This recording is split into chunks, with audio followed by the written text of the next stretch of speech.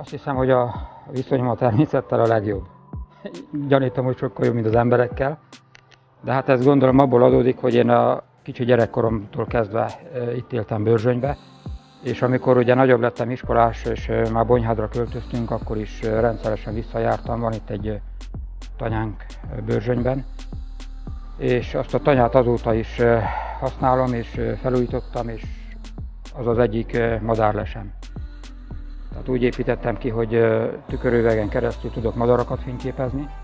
Van egy ittatóm, etetőm, és hát a, az ominózus sorozat, a rigós fotó is ezen a tanyán készül az ablakban.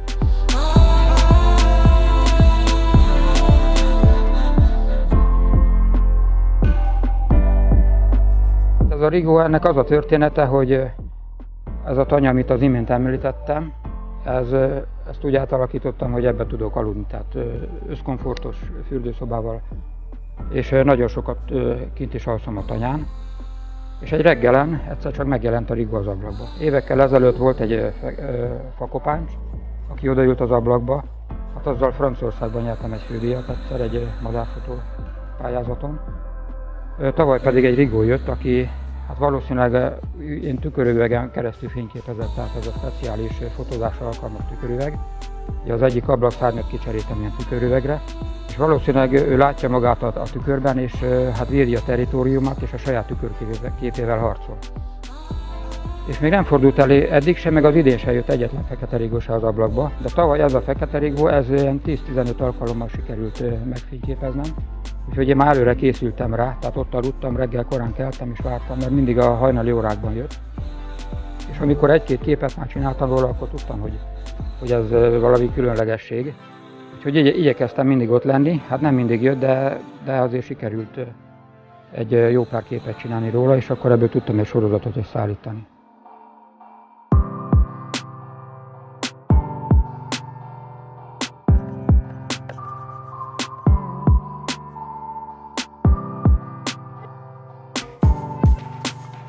Természetfotózásnak több válfaja van.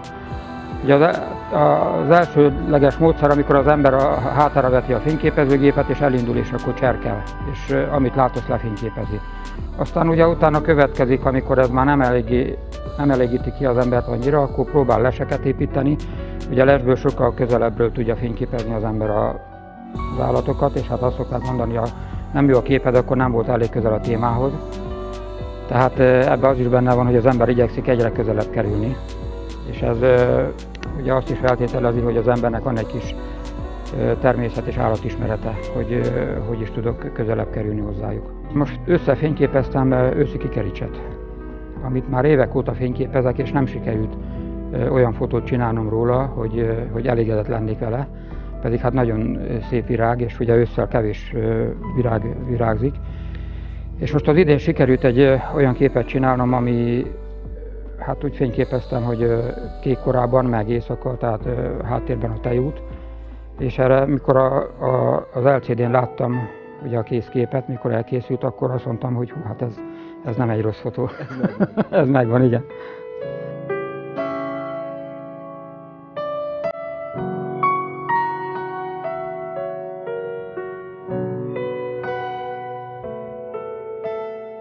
Én, én az a típus vagyok, aki ugye nem a hétvégén megyek különböző fizetős helyekre, hanem én, én, én egyedül, és nem csoportosan, hanem én egyedül szoktam.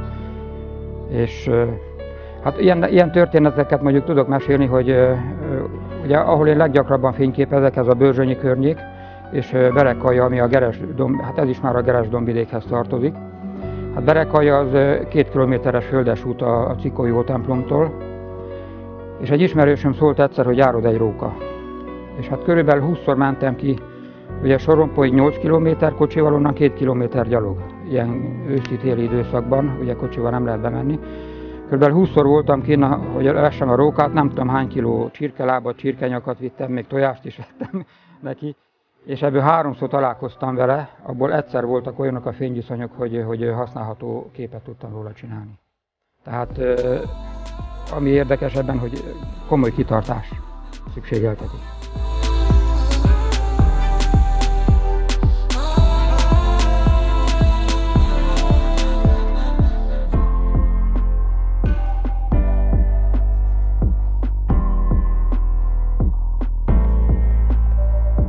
Van nekem egy lesem a Hónikpusztán, ahol egy ilyen mocsaras rész van, hát oda elég nehéz bejutni, tehát egy fél óra, mire az ember ilyen halász ruhába, ugye a tüskés bokrokon, nádon, vízen keresztül bejut a lesbe, és akkor ott órákig kell ülni, mire lehet, hogy jön valami. És hát sokan azt mondják, hogy ők fél óráig nem bírnák. De hát én azt mondom, ez habitus kérdése, mert én ha beülök a lesbe, én ott nem unatkozom, ugye akkor nem bírja az ember, ha unatkozik. Ott mindig történik valami, tehát ha, ugye hallja az ember a hangokat, abból már következtet, hogy most esetleg jön egy madár, vagy, vagy jön valami, vagy zörög a nád, és, és valami ott koslat, és akkor fölkészülök a dologra. És ugye mindig változnak a fények, azt követni kell, ugye koncentrálni kell. Úgyhogy én azért bírom, mert nem unatkozok a lesbe. Tehát ha én kinülök 4-5 órát, akkor ugye az ülőgumbaim fáradnak el előbb, mint a, mint a türelmem.